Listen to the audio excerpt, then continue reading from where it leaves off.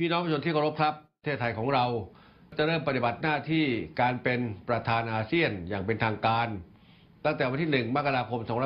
2562 ไปจนครบ 1 ปีเต็ม ถึงวันที่ 31 ธันวาคม 2562 ซึ่งในโอกาสที่เลขาธิการอาเซียน เดินทางมาเยือนประเทศไทยเมื่อวันที่ 21 ธันวาคมที่ผ่านมา รัฐบาลไทยก็ได้จัดงานรวมใจประสานสู่ประธานอาเซียนขึ้นด้านทำเนียบรัฐบาล ถือเป็นการเปิดตัวและแสดงออกถึงความพร้อมของไทยสำหรับการเป็นประธานอาเซียนการจัดงานครั้งสำคัญนี้ ได้รับความร่วมมือร่วมใจจากผู้แทนทุกภาคส่วนทั้งคณะทูตจากประเทศสมาชิกอาเซียน เยาวชน นักศึกษา ภาคเอกชน ศิลปิน ดาราผู้มีชื่อเสียง นักกีฬา รวมไปถึงผู้ที่ทำงานเกี่ยวกับอาเซียนโดยตรง ต่างได้มาร่วมกิจกรรมด้วยความเป็นน้ำหนึ่งใจเดียวกัน หรือเป็นทีมประเทศไทย เพื่อร่วมมือกันขับเคลื่อนความร่วมมือด้านต่าง ๆ ของอาเซียน และเป็นเจ้าบ้านที่ดี ให้สอดคล้องกับแนวคิดหลักในการเป็นประธานอาเซียนของไทยที่ตั้งไว้ ก็คือร่วมมือร่วมใจก้าวไกลยั่งยืนทั้งนี้อาเซียนถูกก่อตั้งขึ้นที่กรุงเทพในปี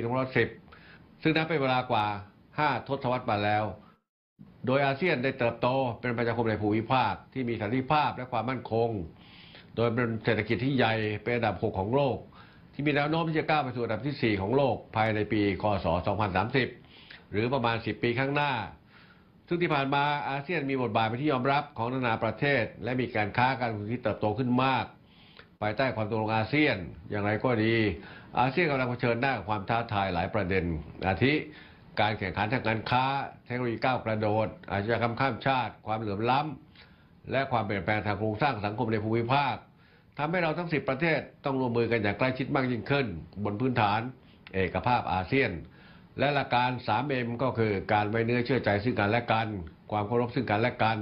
และผลประโยชน์ร่วมกันเพื่อจะนำไปสู่ผลลัพธ์ที่เป็นรูปธรรม สามารถรองรับความท้าทาย พร้อมทั้งเสริมสร้างความยั่งยืนให้กับอาเซียนในทุกมิตินะครับ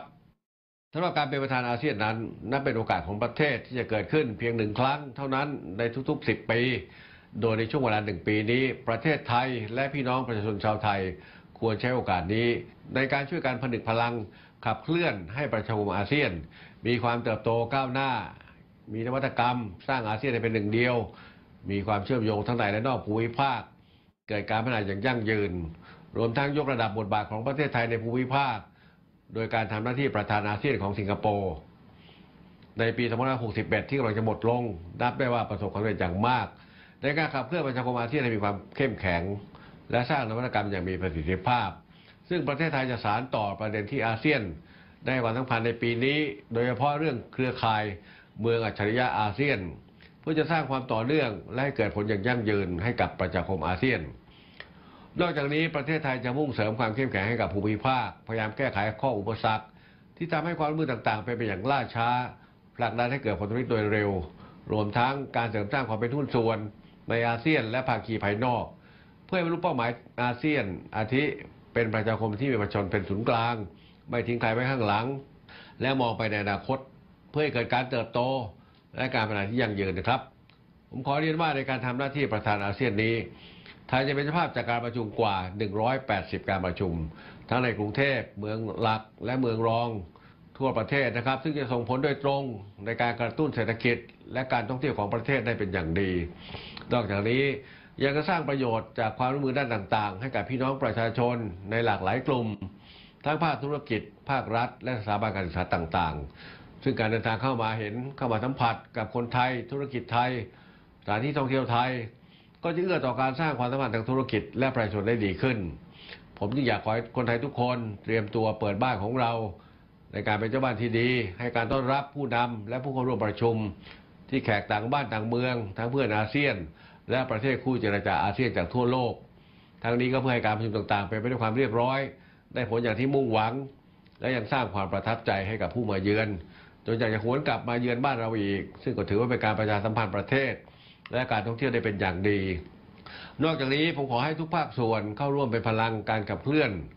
ประชมอาเซียนในทุกมิติ โดยร่วมกันผลักดันการพัฒนาอาเซียนไปพร้อมๆ กับประเทศสมาชิก โดยไม่ทิ้งใครไว้ข้างหลัง เพื่อจะสร้างสังคมอาเซียนที่สงบสุขเข้มแข็ง และก้าวหน้าอย่างยั่งยืนทั้งนี้การเป็นประธานอาเซียนนั้น ไม่ใช่เรื่องที่รัฐบาลจะสามารถขับเคลื่อน ให้ลุล่วงเพียงฝ่ายเดียวได้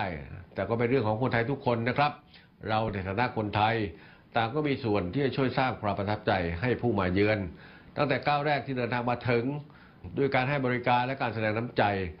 ที่อาเซียนเลนสำหรับการบริการและการอำนวยความสะดวกในการเดินทาง การให้บริการเดินสำหรับอาคันตุกะ นอกจากจะต้องซื่อตรงแล้ว ควรคำนึงถึงความสะดวกสบายสะอาด และเป็นระเบียบเรียบร้อย ชาวบ้านร้านโรงต่างๆ ต้องดูแลรักษาหน้าบ้านให้น่ามอง ไม่มีขยะ ร้านอาหารร้านขายของ ซึ่งปัจจุบันทราบว่าพยายามรณรงค์งดลดเลิกพลาสติกโฟมได้เป็นจำนวนมาก พร้อมหันมาใช้วัสดุรีไซเคิลเพื่อลดปริมาณขยะและลดโลกร้อน ซึ่งสอดรับกับแนวความคิดของไทย ในฐานะประธานอาเซียนในครั้งนี้ด้วย ที่ต้องการจัดการประชุมแบบกรีนมิทติ้งเพื่อให้สมาชิกอาเซียน และคู่เจรจาทั่วโลก ที่มาเยือนเน้นความร่วมมือร่วมใจของพวกเรานะครับ ขอบคุณนะครับ ขอให้ทุกคนมีสุขภาพ สมบูรณ์แข็งแรง และทุกครอบครัวมีความสุขนะครับ สวัสดีครับ